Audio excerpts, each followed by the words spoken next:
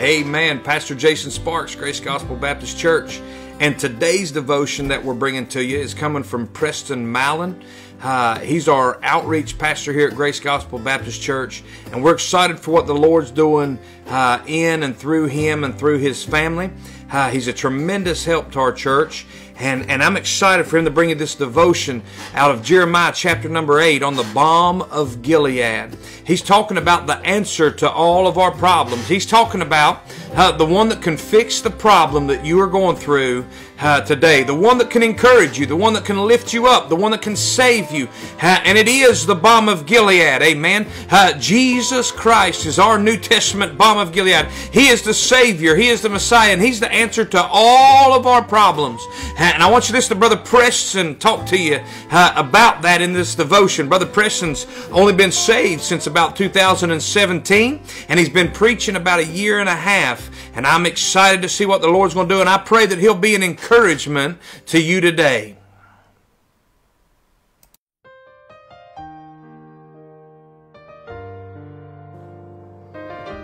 Hey everybody, Preston Milan here, and I got something I want to share with you this evening. As I was studying today, I came across uh, this passage of Scripture, and it really stuck out to me here in Jeremiah chapter number 8, uh, the last three verses.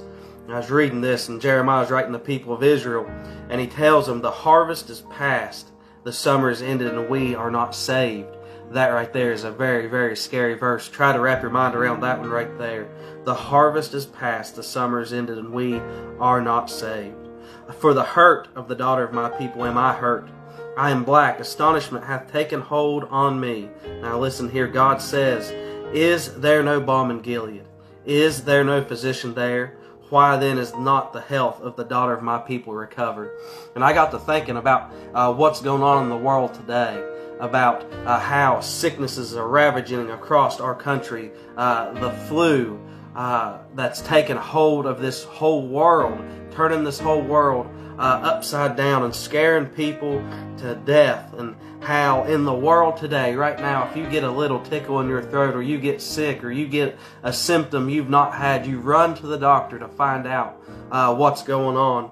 And as God's writing uh, these uh, these people of Israel right here, He's saying, "Is there no balm in Gilead? Is there no physician there?"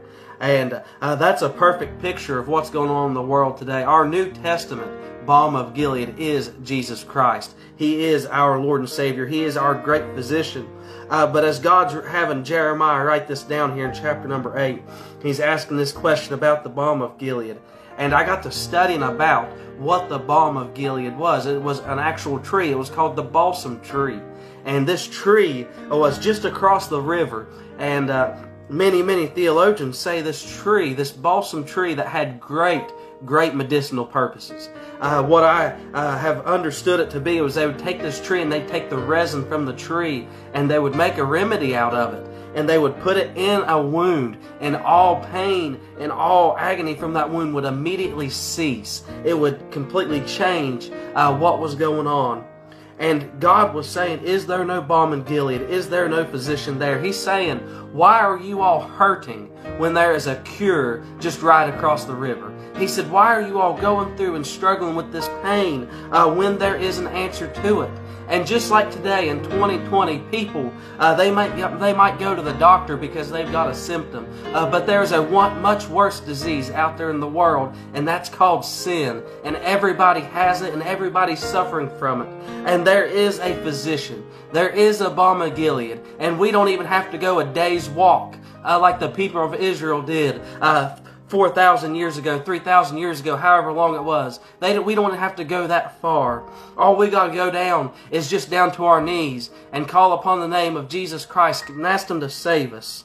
God says, Is there no balm in Gilead? Is there no physician there? Why then is not the health of the daughter of my people recovered? God said, I have a solution to your problem. He's asking His people, Why won't you go get it? He's saying, Just uh, just a little bit of a walk could heal your diseases. And I'm here to tell you today, you don't even go have to go on a walk for it. You can just turn right where you are, bow down on a knee, and call upon the name of Jesus Christ, the real balm of Gilead, the ultimate sacrifice. He is our high priest. He is our rock. He is our fortress. He's our refuge. We can just bow down, bow down on a knee, call upon the name of Jesus Christ. He was the one that God sent, His only begotten Son, to die on a cross, taking our place. And all we have to do is put our faith and trust in the death, burial, and resurrection of Jesus Christ, and we can have eternal life. He is our balm of Gilead. He is our great physician. In a time like today, as scary as today is, why don't we make sure we get a hold of that great physician? If you're not saved where you are right now, pray and ask Jesus to save you. Lord, I love you. God, I thank you, Lord, for that balm of Gilead. God, I thank you for that high priest. God, that lamb, that perfect sacrifice. Lord, I pray you just be with us today. God, if someone's watching this and lost, Lord, I pray you save them. God, I pray you pluck them out of hell, God.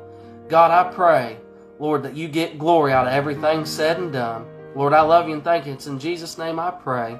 Amen.